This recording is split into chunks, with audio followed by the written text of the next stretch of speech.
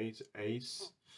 This is actually a makeup video because I have planned for this project since the very beginning of this year.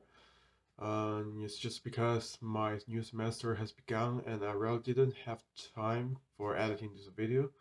But for now, because of the coronavirus coronavirus quarantine and uh, uh, my semester is end, so I really got I finally got some free time for this. Uh, it's generally about a project I did in the winter time, which is an old technique called cyanotype blueprint.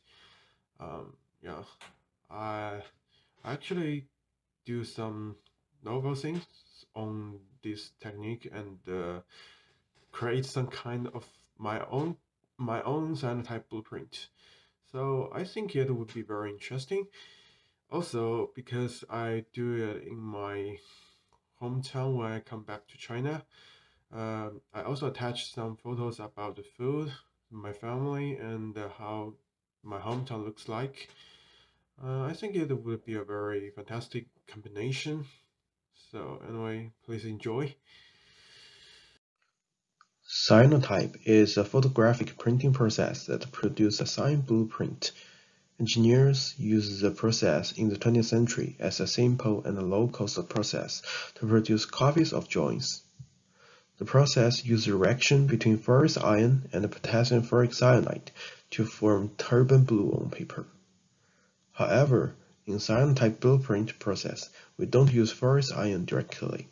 Instead, we use a photosensitive ferric compound which can decompose and give ion to source when exposed to the light. Also, just mention, some sources may call the dark blue compound as a Prussian blue. Turnbull blue and Prussian blue may vary in color because they start from different regions and have different impurities, but they are actually the same compound in terms of chemistry. The right-hand side is the structure of this compound. Okay, now let's come back to the project. In the past years, a lot of recipes for cyanotype was developed, but the most common one used potassium ferricyanide and a photosensitive compound called ferric ammonia citrate. However, I myself really don't have ferric ammonia citrate in my lab. I was pity at the beginning and think I can't make this without it. But I quickly remembered that I once developed a synthesis process for a chelate called potassium ferric oxalate, and it should have some similar property as ferric ammonia citrate based on my chemistry knowledge. So a brand new idea came to my mind. Maybe I could make potassium ferric oxalate myself and use that as an alternative to make my own cyanotype process. To support my, my idea, I do some research on the internet and found a very good article. This article used exactly the same thing as I thought and it gave a very detailed instruction. So based on this article, let's start.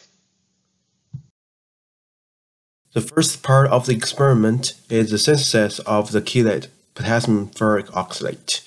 The chelate itself is a bit complicated in terms of structure, but the synthesis is very straightforward get started, we need ferric trichloride, potassium oxalate, and oxalic acid. The general idea is simply mix up ferric trichloride and potassium oxalate together to let them react. Firstly, measure 3 grams of potassium oxalate monohydrate and 16 grams of ferric trichloride. In my experiment, I make a mistake that I've got to count the water component in the ferric trichloride, and therefore I double the dosage of potassium oxalate. This mistake could affect the final yield because I need to do several more recrystallization to purify the final product, but fortunately it doesn't destroy the reaction. The second step is to make the solution. I use 50 ml and 100 ml of water respectively to dissolve ferric chloride and the potassium oxalate. Since I don't have the magnetic stir, I just use a glass rod to stir and turn on my oven to accelerate the dissolution. As you can see, the ferric trichloride solution extremely cloudy, and that's because ferric ion experience seriously hydrolysis and become ferric hydroxide. It seems makes the solution looks pretty bad, but it is actually fine when react with the oxalate. Okay, now here we come to the final step of the reaction. I transfer the potassium oxalate solution to another big beaker and slowly drain in ferric trichloride solution with a glass rod. As you can see, the interface of the two solutions immediately turn light green. This shows reaction happen and this green is the color of the chelate ion, ferric trioxalate and anion, and this is exactly what I want. In this reaction, ferric ion hybrids is 4s4p and 4d orbitals to form a sp3d2 hybridization. Oxalate ions lone pair would occupy these three orbitals to form the chelate.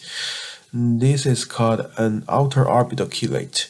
At the end, I add a few amount of oxalic acid to adjust the pH be professional, I really need to make oxalic acid solution and monitor the pH, but I myself just end up adding oxalic acid solid until the solution get clear.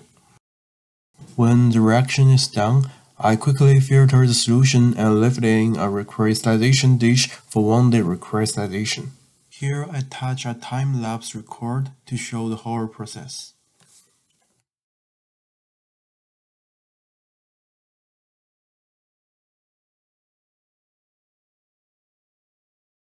After one day recrystallization, we can see some green crystal accompanied with some sharp clear things precipitate out. This is the exit potassium oxalate crystal, which I miscalculate at the beginning. To make the sample pure, I need to do several more recrystallization run and now I can only manually separate these two kind of crystals. At the end, I got 20 grams of potassium ferric trioxalate. This indicates a yield of 74%. This yield is a bit low in terms of inorganic reaction. This is because I do too much recrystallization.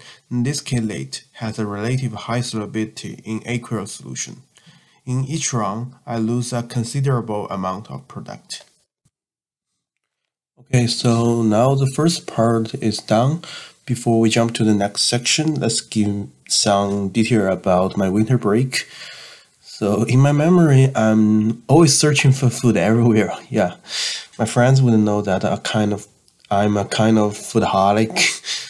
Uh, the food is my favorite things, and also I come back to my real hometown because I was born in another province of China, which is not I lived. Um, so I go with my parents to my real hometown to see my grandparents. Yeah, that's also another thing. Here I give a snapshot of my winter break here. So enjoy.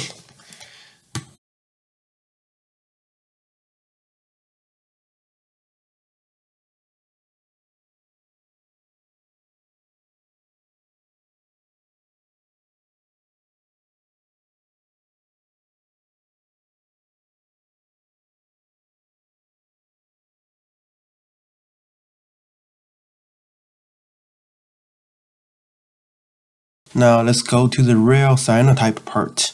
Firstly, I quickly make a 0.3 mol per liter potassium ferric oxalate and potassium ferricyanide solution respectively. Then I mix equal amount of both solutions as a cyanotype solution. I splash the cyanotype solution on a piece of paper sheet by a syringe and use a brush to spread the solution as evenly as possible. Then I use a hair dryer to quickly dry it. For now, all the materials are ready and we will make the blueprint on this paper sheet. I choose a photo which I took two years ago at Toronto as an example. I convert it to black and white and then do inverse on it. In this way, I made a negative of this photo so that it can be projected on the paper. Then I put the negative on my cyanotype paper sheet and stick it on the window to let the photo expose. In this process, a series of complicated free radical reaction is happening. But to be simplified, let's explain in this way. Under the activation of photon, uh, intramolecular redox reaction happen in this oxalate chelate. The carbon in the oxalate ion is oxidized to carbon dioxide and gives its electron to the ion 3. Ion 3 is reduced to ion 2 by accepting oxalate's electron. The reaction is the key point of cyanotype reaction because it offers ion 2 source for Turnbull blue. Then the free ion 2 particle made the potassium ferricyanide and settled down as Turnbull blue on the surface of paper. Since this reaction is activated by the light, only the area which is not covered by the negative will react. This is how this technology can form imagine.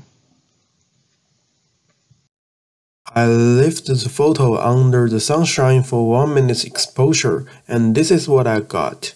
I would say it is just okay. the resolution is not that good, but anyway, the imaging is there. I'm not sure what caused the terrible resolution. Maybe the quality of paper.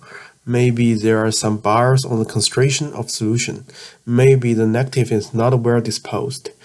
Um, but in terms of chemistry, this project gets dropped down. I still have a lot of solution, so I make some other negatives and conduct cyanotype on them. I would just attach the final result here. At this moment, the project is almost done. There is actually some further process, but when I made the photo, my vacation is almost over, and I really don't have time for the further process. This is really a pity, but anyway, I could only end it in this step. In summary, during the winter break, I do the synthesis of potassium ferric trioxalate and use the chemicals to create my own cyanotype blueprint. The final product isn't as beautiful as I expect, but at least I made this. The most part is chemistry and in this point it is good enough. Besides, the most interesting part for myself is the experiment, i.e. do it myself now I finish all the job and post this video. Hope everyone could enjoy.